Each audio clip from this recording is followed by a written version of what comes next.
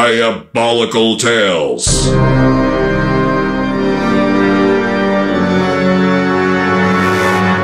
For your increased enjoyment, this special episode of the Diabolical Tales Radio Hour will be presented without commercials. However, because our programming is reliant on our sponsors, tonight's episode will feature product placement by Triple X Vodka.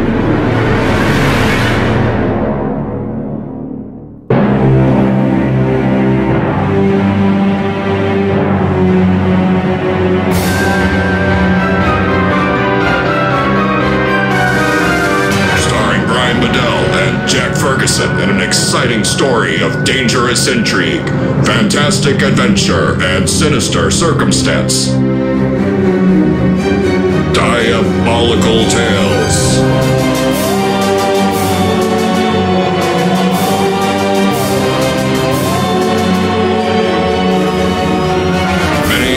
Incidents in the story you are about to hear are based on the authentic records from the above top secret U.S. government Project Agartha, which is concerned with the deadly and imminent threat of a secret civilization from within the Earth.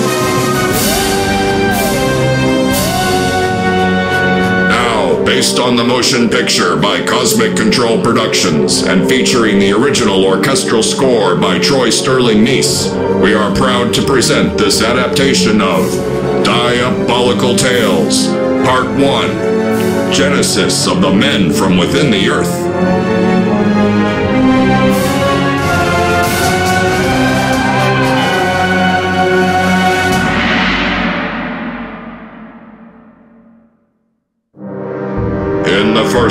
Of our adaptation of Diabolical Tales Genesis of the Men from Within the Earth, a deadly and mysterious man in a black cape murdered FBI agent Cooper's partner with a strange, advanced weapon and put in motion an evil plot to steal U.S. government atomic technology.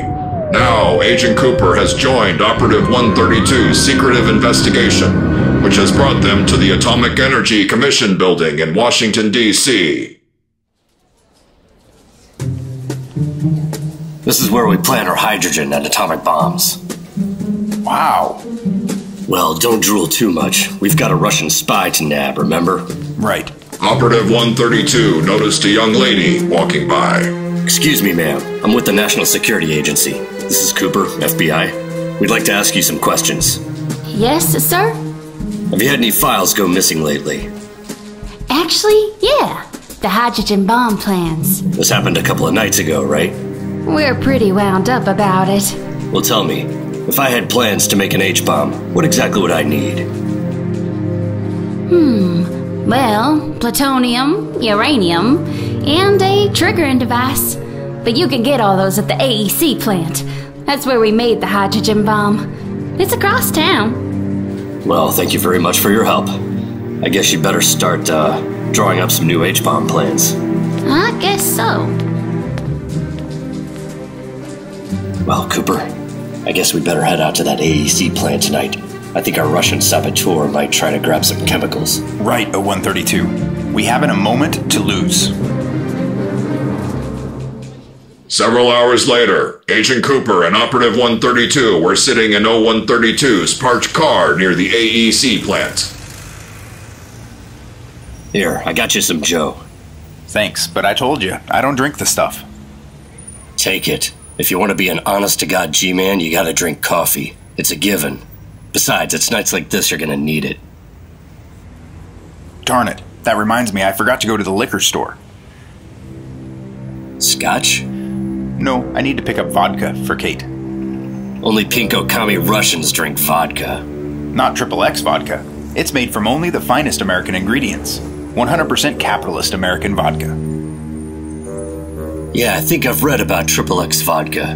They donate 2% of all profits to pro democracy movements fighting existing communist regimes worldwide. Right, Cooper? That's right, O132. And Triple X vodka is pretty easy to find on those lower shelves. Kate sure does enjoy Triple X vodka. So, uh, what did you do before you joined the NSA? Well, between you and me, I worked on a lot of military projects Project Sign, Project Grudge. The UFO projects? Yeah, worked a lot of those. I've been all over the country Fargo, North Dakota, New Mexico, Lubbock, Texas. Yeah, even those sightings at the Washington National Airport back in July. Okay. Yeah. So you've got to level with me. What's the deal with that Roswell thing? uh, weather balloon. A weather balloon? That's it? Or, uh, you know, swamp gas. Don't worry about it. But I thought New Mexico was just a desert. How could it be swamp gas? Uh, temperature inversions. But there was a meteor shower about that time, too. Uh, don't worry about it. There was. We never found any alien bodies. We never found a flying saucer with hieroglyphics, and they didn't come from the fourth planet of the binary star Zeta Reticuli. Whole thing was a big hoax.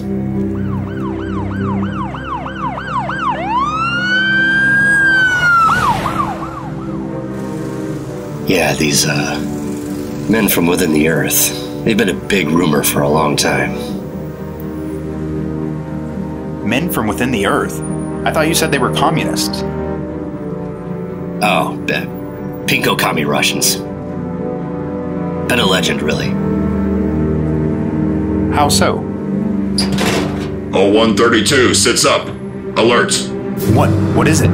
It was the man in the black cape, Zong. He was carrying a case under his arm. Our G-Man heroes climb out of their car in pursuit, openly brandishing their standard issue sidearms. Freeze, Freeze men in black! I know who you are, and I know what you're doing here. Zong stopped and swept around, his hand extended to them. I will destroy you with the powers of my mind, surface dwellers. What does he think he's doing? As previously mentioned, our antagonist Zong falsely believes that he possesses evil mind powers, so he strained with everything he had. But it wasn't working. Uh, whatever it is, it's not working. Put down the case of elements, Z! I told you to pray that we did not meet again. Yet here you are, surface dweller. Wait, what? You killed a lot of my men! Now put down the case of elements, man in black! And now you will die, surface dwellers. Let's get him! The G-Man charged at Zong, who turned and ran. Zong then jumped over a small chain fence, which proved to be an obstacle for the G-Men. So Agent Cooper raised his gun and... But 0132 slapped Agent Cooper's gun down. No! Never shoot to kill! We've never captured a single one of those underworld freaks. We need him alive at all costs. Uh, I'm, I'm, I'm sorry. I, I didn't know. Underworld freaks? Never mind. I'm sure he got a hold of the elements. Was that the same one you saw the night Agent Thompson was killed? I think so. At least he was dressed the same. What was that he said about meeting you again? And what you said about him killing a lot of your men? Above top secret. Look, we'll come back tomorrow with a Geiger counter. We'll wander around aimlessly until we pick up a signal. If my hunch is correct, he's hiding out below. Subway? Close. 0132 turned and walked off into the night. With much confusion, Agent Cooper slowly followed.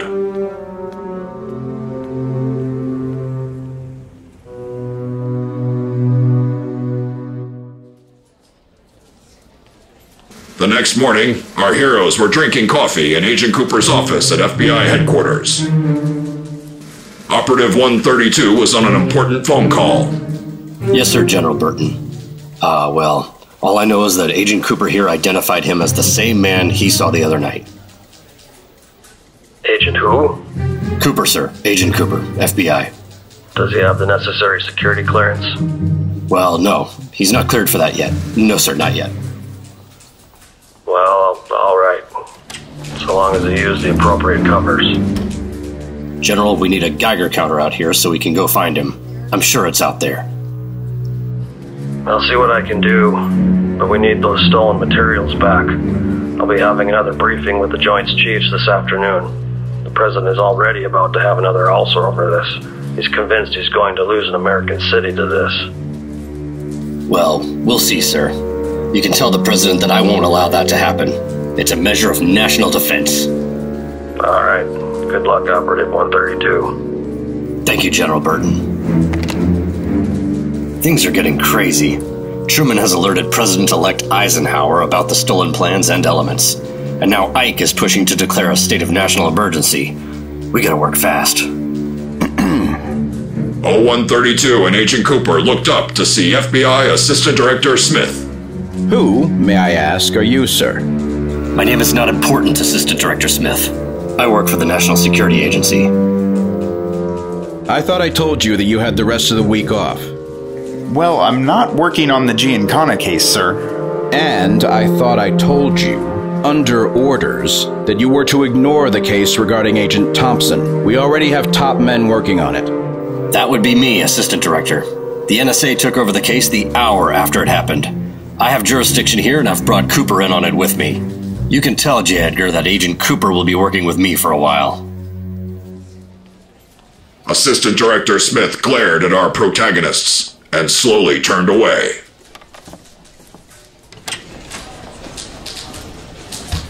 Thanks. We've got badder fish to fry than him right now.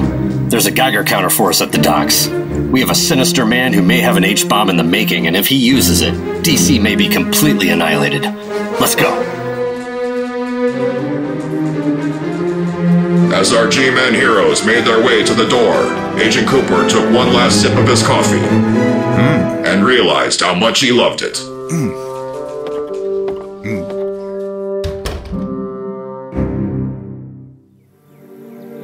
A short time later, they found themselves near a rocky gorge in a remote forest. Alright, with this Geiger counter, we should be able to locate the missing uranium and plutonium. Once we get that, our man in black shouldn't be too far away.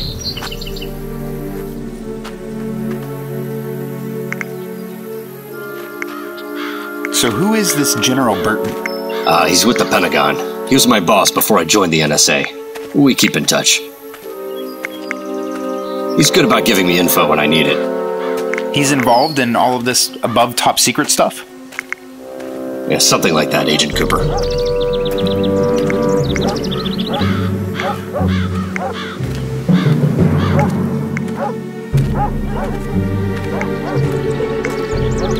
Agent Cooper and 0132 didn't realize how close they actually were. Dozens of feet below the rock beneath them, Zong works away in his evil underground lair.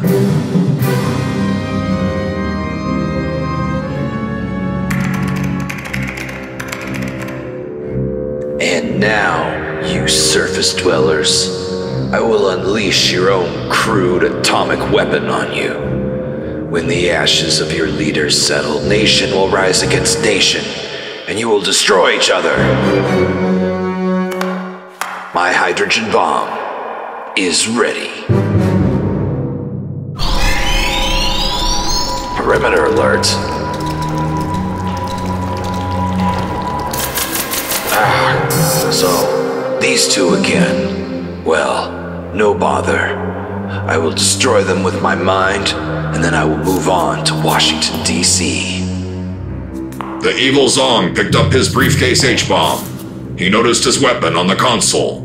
He raised his hand. Concentrate. It was another evil mind power attempt. Come to me, my faithful weapon.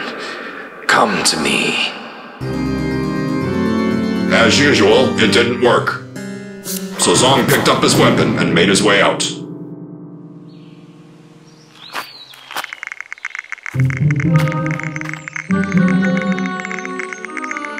He's gotta be here somewhere, I know it. He must be underground.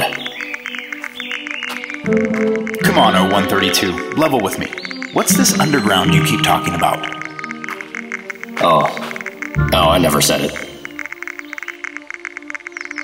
Meanwhile, the evil Zong made his way out of a hidden cave entrance.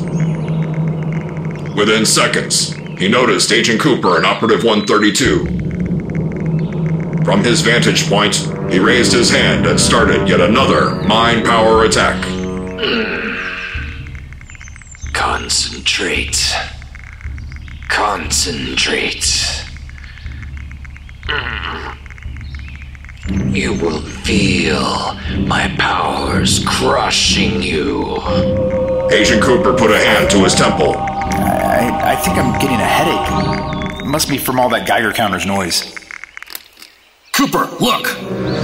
They spotted the man in black. Oh. Zong picked up his briefcase H-bomb, turned and ran in the opposite direction. The G-men gave chase. As Zong attempted to climb the side of a rock wall, Agent Cooper tackled him from behind, knocking the briefcase away. It tumbled to the ground where 0132 grabbed it. Zong then swung his head back, headbutting Agent Cooper and knocking him back. Zong turned toward Operative 132, opened the briefcase, and then raised his gun. Don't move. I mean it this time. I'll shoot you in the arm. You fool! You've started the bomb! Deactivate it. Never! I will perish with it, as will you! 0132 nodded to Agent Cooper, put down his gun, and started fiddling with the bomb. His gun raised, Agent Cooper shuffled closer to Zong. You're the one who killed Agent Thompson. Yes, I killed him with my handy pocket electro incinerator. What kind of communist device is that? Communist? What are you talking about, surface dweller? Surface dweller? Where are you from, you strange, sinister foe? I am from the underworld, and now we are going to destroy you all using your own hydrogen bomb. We will have our revenge! Revenge? What has the United States of America ever done to the underworld? You don't even know, do you? you fools! A few weeks ago, your United States of America blew up a hydrogen bomb in the middle of the ocean. That explosion ripped through underground caverns, flooding miles of our tunnels, killing over a hundred thousand of our people. When this happened, we realized you had gotten much too powerful. We were so happy to let you live up on the surface and have your stupid little lives. Well, that's all over now. We're gonna detonate this bomb near Washington, D.C. Your little friends will think, oh, the Russians did it, the Russians did it, and a nuclear war will ensue, destroying all of the surface world. You will all be gone. Not if I have anything to say about it, man in black. Agent Cooper glanced away as Operative 132 frantically started pulling at cables on the bomb. Then Zong struck. He kicked Agent Cooper and pulled out his handy pocket electro incinerator. Agent Cooper quickly picked himself up as 0132 dodged the deadly blast. Agent Cooper tackled Zong. With the two struggling for control of Zong's weapon, Agent Cooper headbutts Zong and catches it as he falls away. Zong picks himself back up and leaps at Agent Cooper.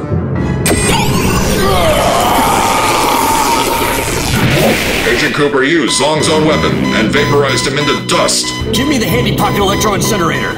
What? The, the doohickey. Agent Cooper tossed the electro incinerator to Operative 132, who in a last-ditch effort aimed it at the briefcase H-bomb and fired.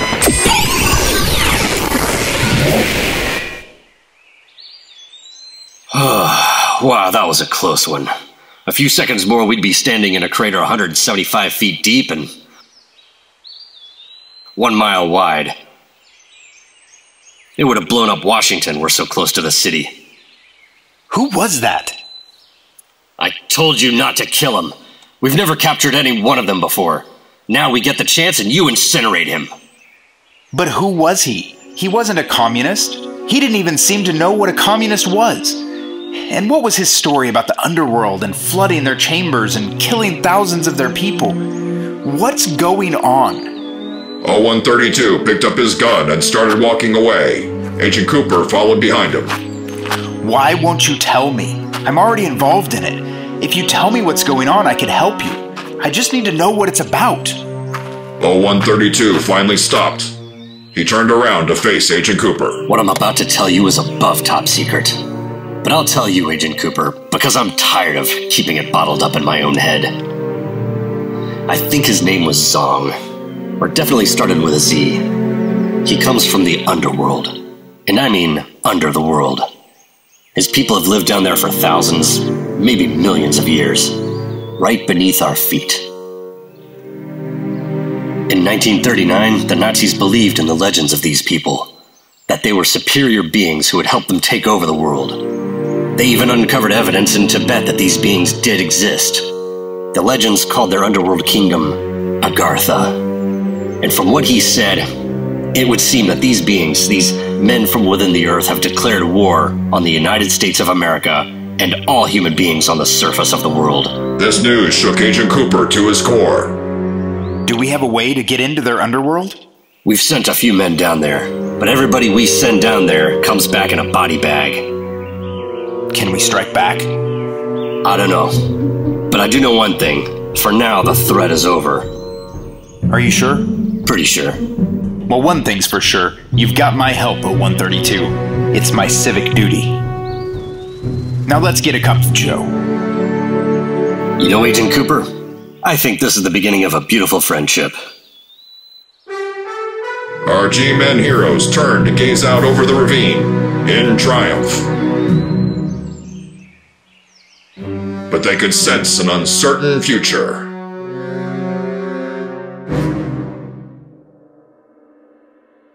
Master Zun, Sergeant, report.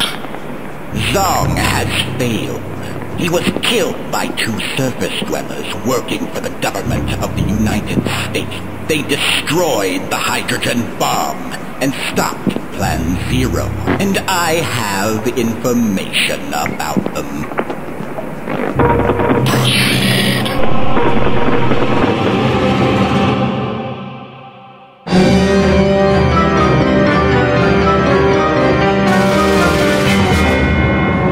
Special episode of the Diabolical Tales Radio Hour starred Brian Bedell, Jack Ferguson, Kyle Stroud, Breanna MacDowall, Troy Sterling Nies, Brandon Kane, and Don Gerron as Master Zun. The original score was by Troy Sterling Nies. The mix was by Dan Jeremy Brooks of Apocalypse Cow Studios. And the original sound design was by Jim Rieder of Suite Audio Sound Design. Based on the motion picture by Cosmic Control Productions, it was written by Brandon Kane and produced by Christian Wheeler, Troy Sterling Nies, Don Gerron, and Dan Jeremy Brooks. The Diabolical Tales Radio Hour is presented by Cosmic Control Productions.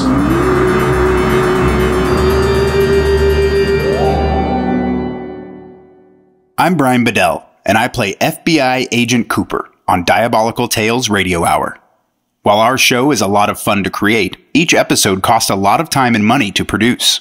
So if you liked what you heard, please subscribe to the Diabolical Tales Radio Hour on your preferred medium in order to catch new episodes as they're released. And if you have the means, please consider donating to our show at patreon.com slash diabolicaltales.